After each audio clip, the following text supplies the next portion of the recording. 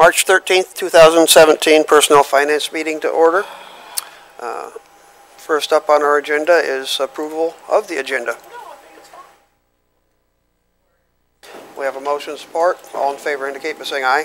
Aye. Those opposed, the same. Passes unanimous. Item three, we're at public comment. We're short on public today. No public comment due to lack of participation. We'll move on down to item four. Uh, I need approval unless there's changes for the February 13, 2013 minutes. Move to approve the minutes. All in favor indicate by saying aye. Aye. Those opposed, the same. Passes unanimous. Uh, Next up is our treasurer, quarterly treasurer report. Welcome, Karen. Good morning. So I don't have the ability to pull up the report that I sent you, but you should all be able to see it through Board Docs.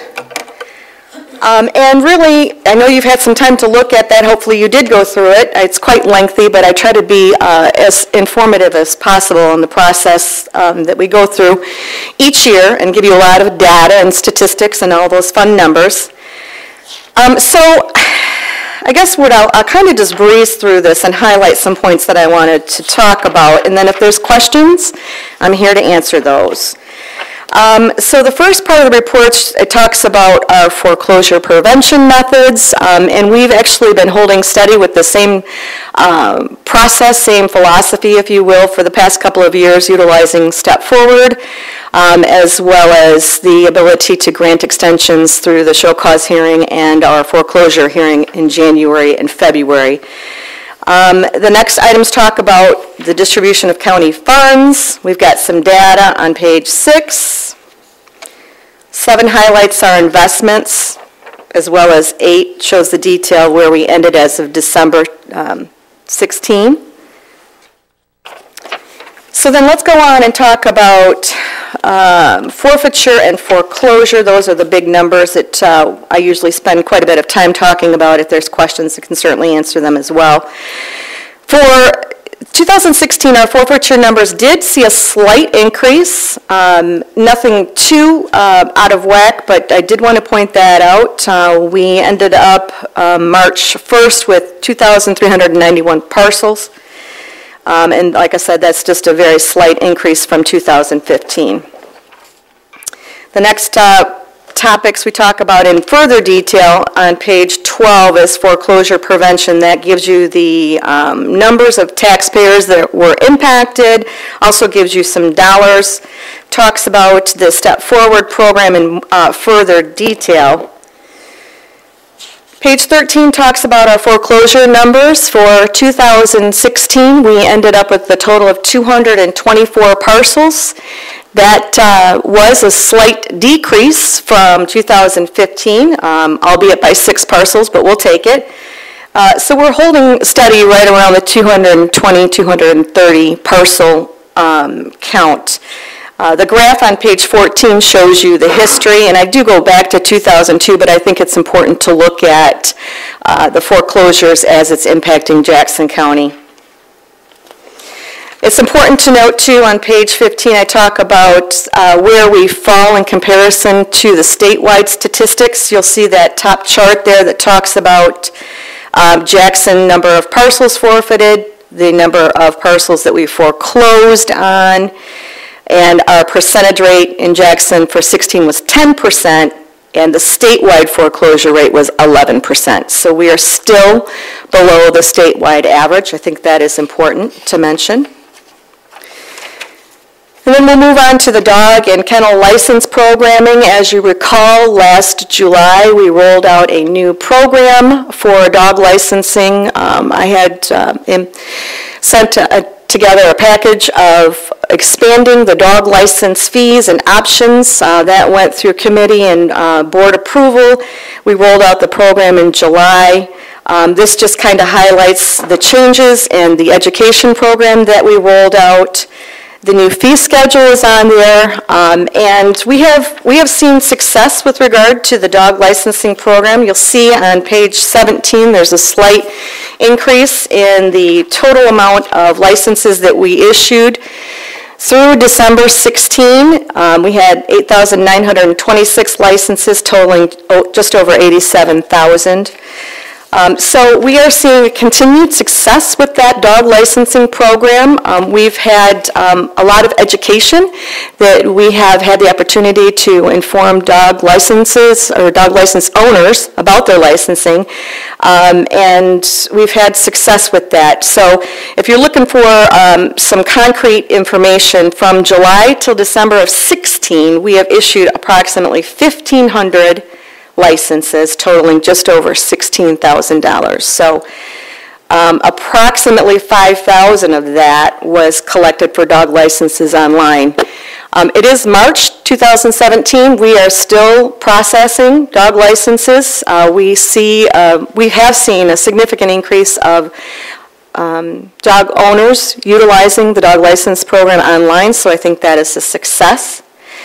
And really, that's all that I've got to highlight, so I will open it up for questions. Oh, I do want to state that um, where we are today as far as our numbers that are coming down the pike uh, for March 31st of this year. Right now, uh, we did, uh, we ran some numbers this morning. We've got 503 parcels that are left to redeem in the foreclosure cycle. It's March, what, 13? So we've got 15 days left to redeem those 503 parcels, so we will be very busy the next 15 days, and our hope is that we can get under the 224 parcels that we had last year. So um, it is important to note that the 503 that we've got today is 58 fewer parcels than we were this time last year, so we are seeing a a decrease in that number. So that's some more current information. It's not necessarily in our report, but I did want to update since we are in the month of March and foreclosure's coming 15 days down the road. So any questions that I can answer for you? Questions, board? I have one. Yes, please. The uh, Step Forward program, uh, it says here that it's- it's funded by state and federal money to pay the taxes. Is there a process where the property owner has to repay, or is this just a grant to the homeowner to pay their taxes? It is a program, loan repayment program. And that's, it funnels directly through MSHDA and the state, um, and they have to qualify it uh, for it per their guidelines. But yes, it is a loan repayment um, program. But if they qualify and they decide to utilize those loan program dollars, they can get up to $30,000 to assist in paying delinquent taxes off, which is pretty phenomenal. Absolutely, correct. I didn't know if that was that, or just kind of wipe the slate clean. It helps them in the immediate, but yes, there's, there's a payback that they need to do. Thank you. You're welcome. Nobody has, uh, Chairman Shotwell. Karen, I want to thank you for your due diligence and hard work on the Mitchner properties and dealing with those. But Mike, I have a question about some of the affiliated buildings that have gone up um, and have been purchased by outside agencies. And do we have, since the county was obviously the prior, prior owner, and now there, there's possibility that some of these properties are going to be owned by other people, do we have, do we have liability that protects us from some of that if they, they find stuff in adjacent buildings or that type of stuff? And if they do, should they be contacting your office or what should be going on? Are you talking about specifically the mechanic and angling properties, or are you talking about other properties I'm just talking about in general. in general? Yeah, As a foreclosing governmental unit, we have immunity. okay, So There is a level of protection because we are getting these properties through adverse possession. So I think the short answer is yes, we are protected.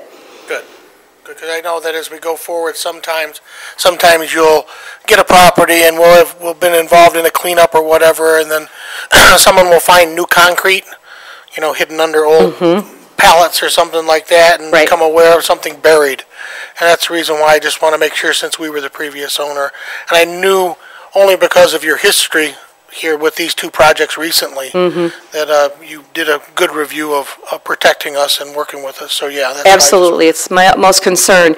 With the mechanic properties and angling properties, we were aware of the historical con- contamination. That's why we proceeded the way that we did, contacting the state and the DEQ and the EPA to let them know that we recently foreclosed on the properties and we know that there's contamination. There's a lot of properties that we may not have that history, so it becomes a little bit difficult, but I'm very aware of the fact that we have some level, actually a very good level of immunity with the respect to protecting ourselves from contamination.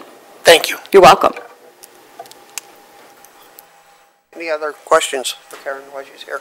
I have one more. Yes? What is the, do you have a final number on, on the cleanup of the angling and the Mechanic Street properties? The, the former Missioner properties? The county, The, the final number, what it cost for cleanup there? I mean, I realize we didn't. yeah, they pay it. started in August of 2015. I'm going to guesstimate Yes. that the Mechanic Street property cost the EPA, not the county of Jackson, just, uh, a- I think just above 1.3 million. And that was all Superfund dollars, so that was not a cost, a direct cost to Jackson County. And the Angling Avenue Street property uh, was, from the EPA, the um, cost was just over 700,000 for cleanup. If you need further- firmer numbers, I can get those for you, Phil. That's fine, just kind of a curious, curiosity. Thank you very, Commissioner Yeah, just one comment. I, I think it's worth remembering that, uh, back when we took possession of that property, the owner was in here trying to convince us to do otherwise. Um, and we many times get criticism for taking property for back taxes, but in this case, it's good because it would have just sat there festering for God knows how long, and now we've got it cleaned up, so. Absolutely. I'm glad for that. I think we've improved the community in that area because we've removed all those, they were hazardous containers, tonnage, we're talking major tons of contaminated properties. And God forbid something happened to the structure, we have a very big issue that could impact a lot of people in the county. So to have those, those items removed, clean up, and the site does look really good. Um, They, they did a very good job with the cleanup, so,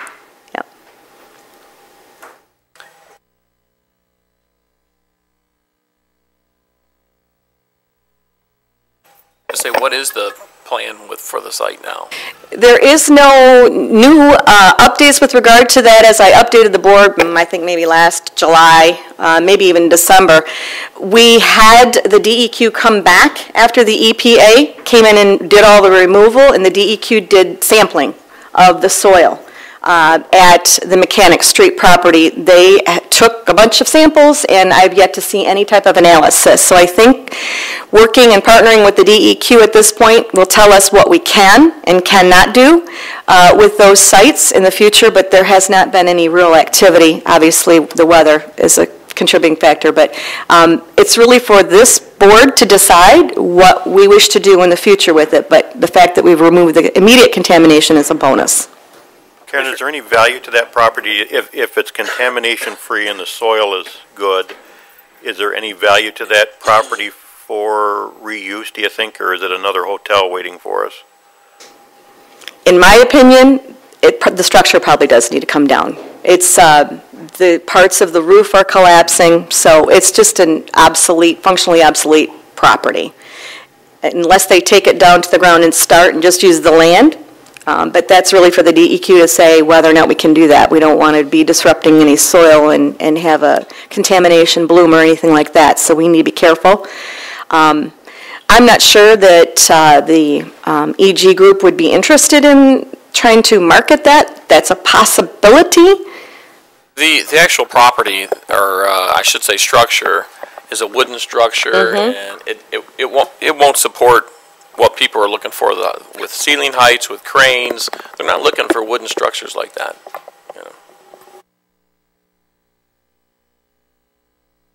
Any further, any further discussion, questions? Thank you, Karen. Thank you. Up next, we move on to item 4C, facilities. We'll be discussing the former animal shelter and uh, a- a new facility to replace the storage capacity of that. Thank you. Good morning, Mr. Chair, Commissioners. You Have in front of you an update on the sale and functional replacement for the Blackstone properties.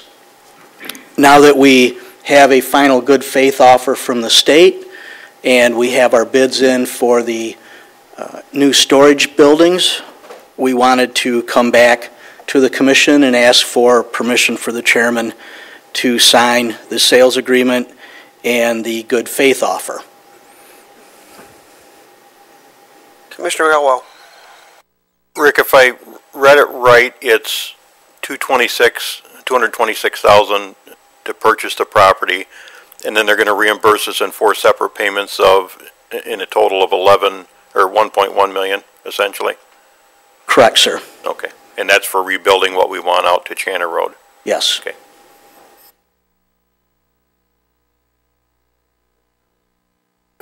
I would so move the request. Support.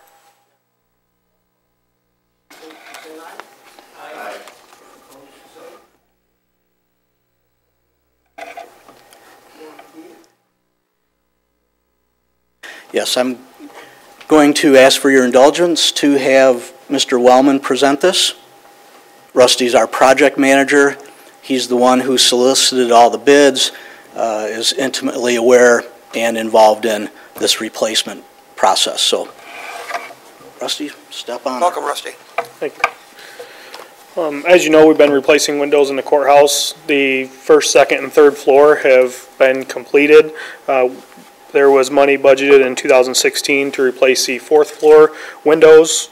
Um, there was seventy-five thousand, um, budgeted, and so we put it out to bid. We have three proposals, the lowest coming from, um, Rogers Glass out of Battle Creek for twenty-three thousand five hundred um, we had a significant amount left in that budget, so we pursued getting pricing for the stairwells, for the northeast stairwell and the southeast stairwell. Combined, those, um, came to a total of sixty-nine thousand five hundred, still under the seventy-five thousand dollars budgeted.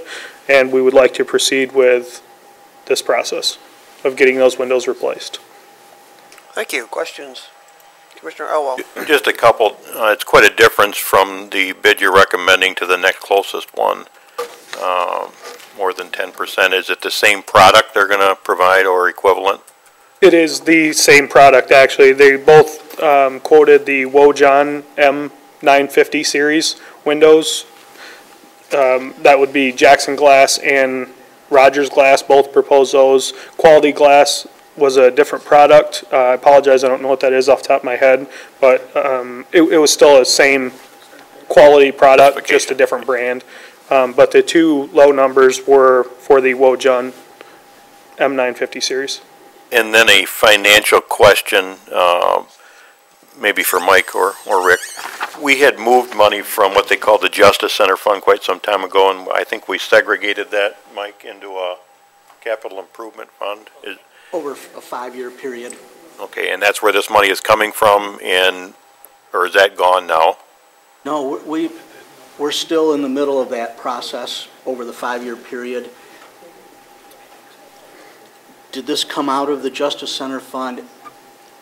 I believe so, Dave, but That money can only be used, um, over there at the courthouse, is the way I understand it. So anytime we have opportunity to use that money, we would use that money, so. Yeah, so that's why I say, I, I, Jim could answer for sure, but Yes, it does. Uh, I think it's roughly half a million dollars left in that. And this would come out of that then? Okay, very good, thank you. Any further questions or discussion? If not, I'd like a motion uh, to send this forward to the full board. All in favor indicate by saying aye. Aye. Those opposed, the same. Thank you, board. Passes. Thank you, Rick. Thank you, Rusty. Next up, item four E, finance or improvement, capital improvement uh, plan carryover budget amendment. Thank you.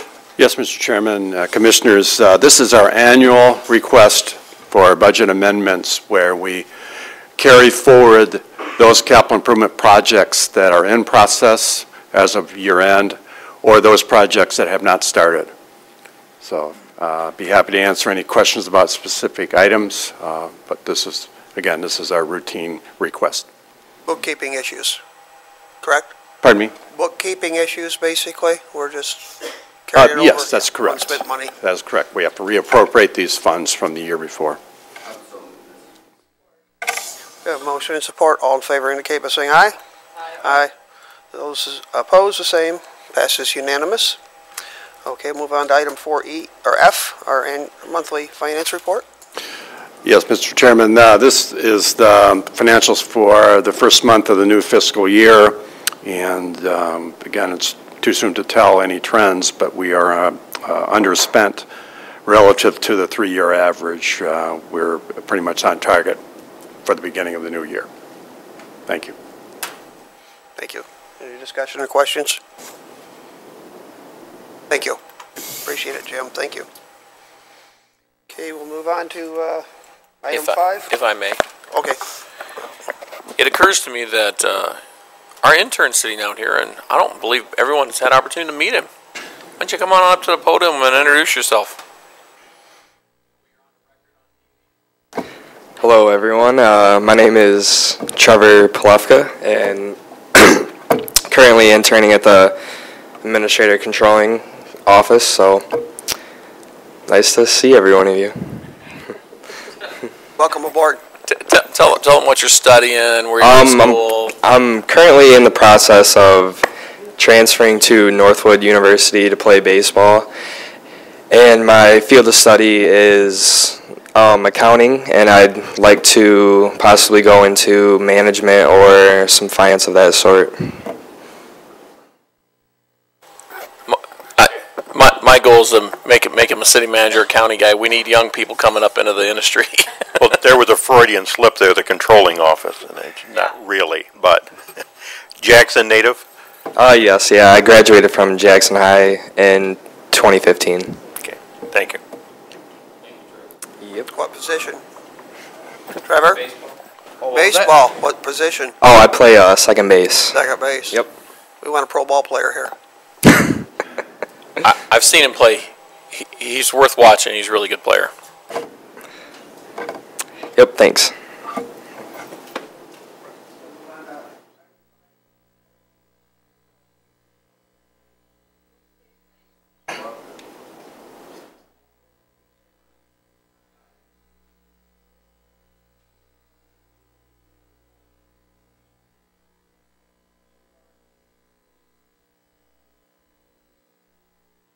That's quite a schedule there.